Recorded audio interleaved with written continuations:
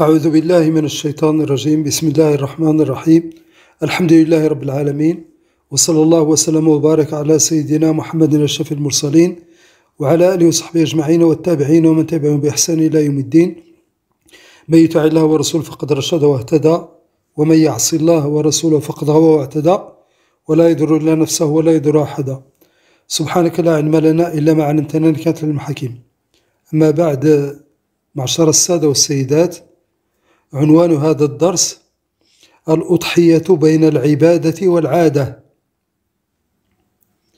معشر الإخوة والأخوات بارك الله لي ولكم في شهر ذي الحجة الذي نستقبله. وبارك لنا كذلك في العيد الأكبر عيد الأضحى. الذي هو في الطريق إن شاء الله. ومن ضمن ما ميز به الله سبحانه وتعالى هذا العيد سنة الأضحية. ولن تسمح الظروف بالحديث عن أحكام الأضحية فهي كثيرة جدا. ولكنني سأذكر بعضها فقط آه، واعذروني فيما لم أذكره. العنوان المختار هو الأضحية بين العبادة والعادة. و و ونبدأ بالعبادة وهي الأصل. هذه الأضحية هذه الذبيحة هذا النسك جعله الله سبحانه وتعالى من شعائره. وصدق الله العظيم إذ يقول ومن يعظم شعائر الله فإنها من تقوى القلوب. وهي أفضل عمل على الإطلاق يقوم به المسلم في يوم عيد الأضحى. قال رسول الله صلى الله عليه وسلم ما عمل آدمي يوم النحر عملا أحب إلى الله من إهراق الدم.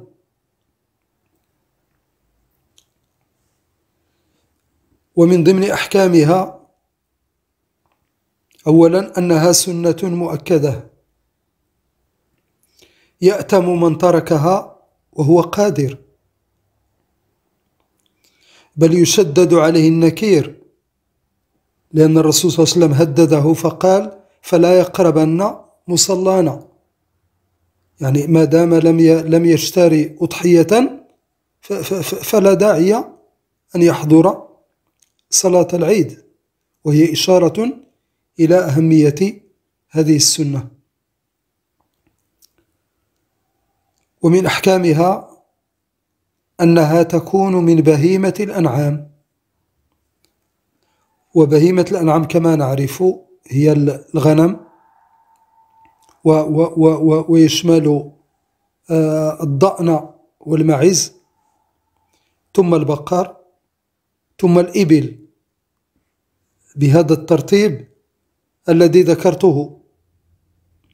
والذكر أفضل من الأنثى في كل صنف.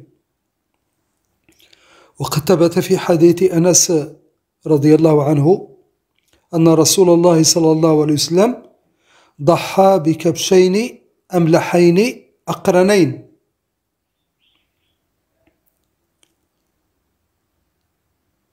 ومن ضمن أحكامها كذلك أنها تجزئ عن الشخص وعن أهل بيته. بمعنى الأصل أن كل شخص يذبح أضحيته. ولكن من سماحة الإسلام أن جعلها تجزئ عن الشخص وعن أهل بيته. بمعنى يمكن أن يكتفوا بذبح آه، شاة واحدة.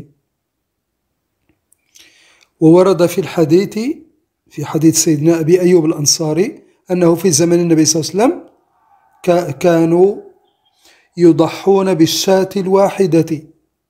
يذبحها الشخص عن نفسه وعن أهل وعن أهل بيته. ومن أحكامها أنها لا تسن في حق الفقير الذي لا يملك ثمنها. لا تسن في حق الفقير الذي لا يملك ثمنها. يعني يعفى. كما لا تسن في حق من تجحف بماله. يعني تضر بمصروفه أكثر من اللازم. وإن كان يجوز للمسلم أن يأخذ من أجلها آه، القرض الحسن. ومن شروط هذه الأضحية أولا أن تكون خالية من العيوب. وقد ذكر عليه الصلاة والسلام آه، أمهات العيوب. التي تمنع الإجزاء فأجملها في حديثه الشريف عندما قال أربع لا تجوز في الضحايا العوراء البين عورها والمريضة البين مرضها والعرجاء البين ضلعها والعشفاء التي لا تنقي. هذه هي أمهات العيوب وهي التي تمنع تمنع الإجزاء. أما ما عداها من العيوب الخفيفة فلا بأس. ثانيا من شروطها أن تذبح في وقتها المحدد وهو بعد أداء صلاة العيد وذبح الإمام. بعد أداء صلاة العيد وذبح الإمام.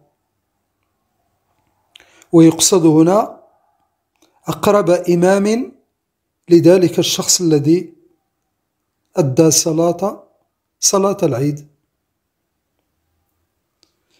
و لا قدر الله إذا منعت صلاة العيد بسبب الظروف التي نعيشها وصلى الإنسان صلاة العيد بأهل بيته آه، بعد أن تحل النافلة. فصلاته إيذان يعني بأن يذبح أضحيته إن شاء الله. ولا ينتظر الإمام الأكبر. من شروطها كذلك عدم تحريم يعني تحريم من شروطها تحريم بيع أي جزء منها. لا يباع منها لا, لا اللحم ولا الصوف ولا الجلد ولا يعطى منها أجرة أجرة الجزار. ويمكن أن تعطيه أجرته ثم تهدي له بعد ذلك من لحم الأضحية فلا إشكال.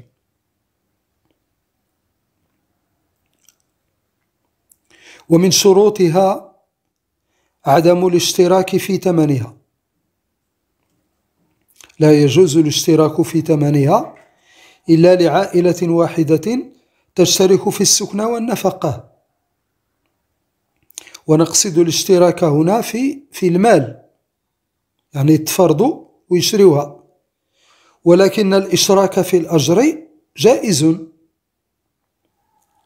بمعنى أن الإنسان غادي يذبح الأضحية ديالو وشرك معه الزوجة وشرك معه الأولاد ولا شرك معه أي أي قريب آخر بشرط أن يكون قريبا كما قلنا وليس أجنبيا وأن ينفق عليه وأن يكون ساكنا ساكنا معه.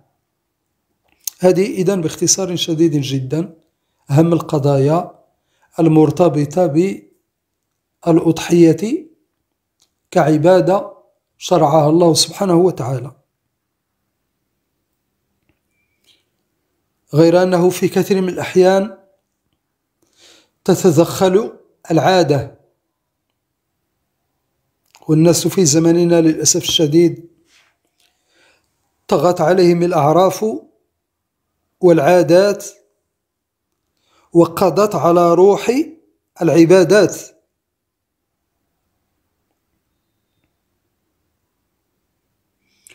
وأذكر هنا بسرعة بعض المظاهر التي لا تليق ولا تنبغي ولا تجوز في هذا المجال. أولها أن الناس عادة يجيبون هذه الأضحية. يعني يجعلون هذه الذبيحة واجبة. فتجد الواحد منهم يتشدد فيها أكثر مما يتشدد في أمهات العبادات. قد يترك الصلاة ولا يبالي ولكنه يقول لك لا ينبغي لي أن أترك الأضحية.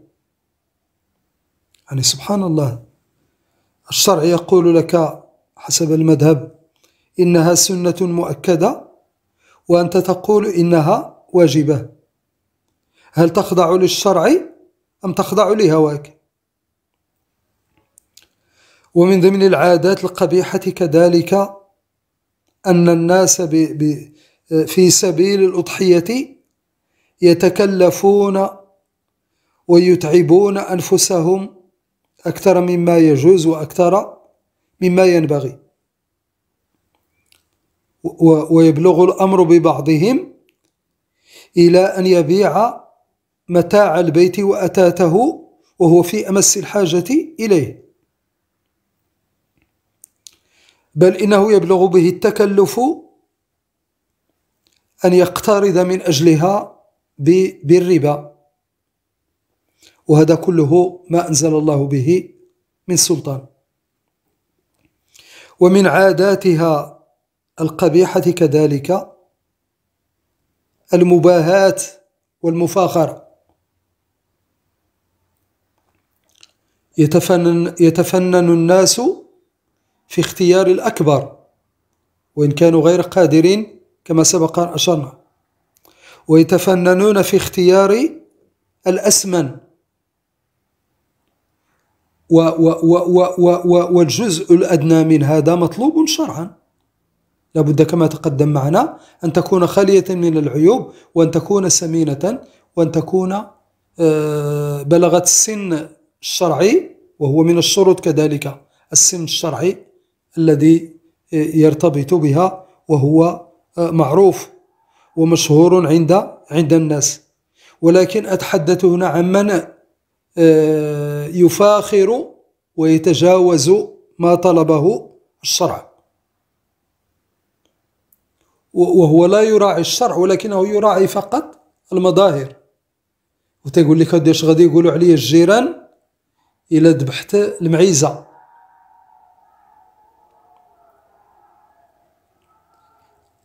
ومن ضمن الأمور الفظيعة التي تروج في وسائل التواصل الاجتماعي في زماننا هذا وفي هذه الأيام بالذات هو التصدق بقيمة الأضحية دون دون شرائها ودون ودون ذبحها.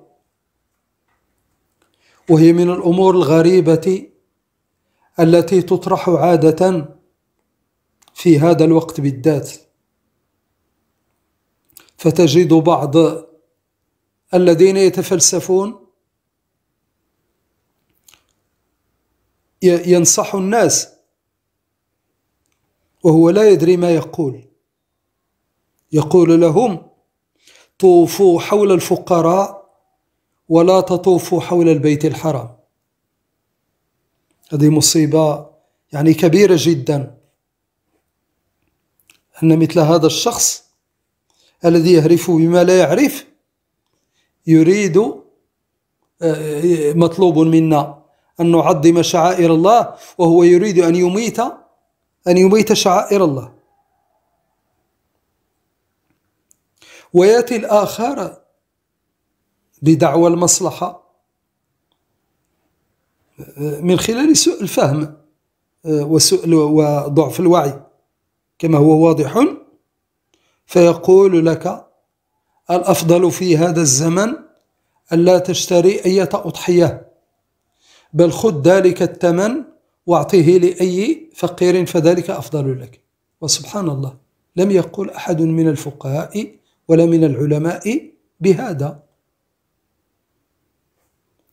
هذا نسك سنه رسول الله صلى الله عليه وسلم وقام به في في زمنه وأوصى الناس به كما سبق أن أشرت وأكد على ذلك.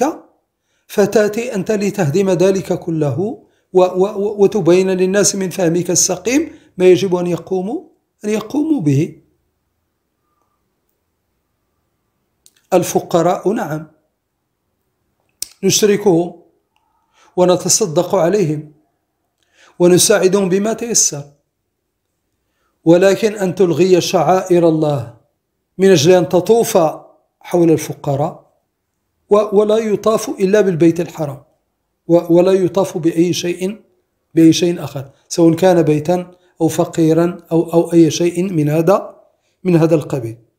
ولذلك لا بد لمن يريد أن يقوم بهذه السنة المؤكدة أن يحرص على الشرع وأن يتعلم الأحكام وأن يقوم بها ويحققها ما استطاع لذلك سبيلا ويبتعد عن العادات ويبتعد عن المظاهر ويبتعد عن المبالاة المباهات ويبتعد عن كل شيء يمكن أن ينال من أجر هذا هذه العبادة وهذا مطلوب مراعاته إذا كان الإنسان يعبد الله حقا. معشر الإخوة والأخوات وفقنا الله لكل خير وعلمنا شرعنا وأعاننا على اتباعه والاقتداء بسنة النبي الكريم عليه أفضل الصلاة وأزكى السلام صلى الله وسلم عليه وعلى آله وصحبه والتابعين ومن تبعهم بإحسان. وآخر دعوانا أن الحمد لله رب العالمين.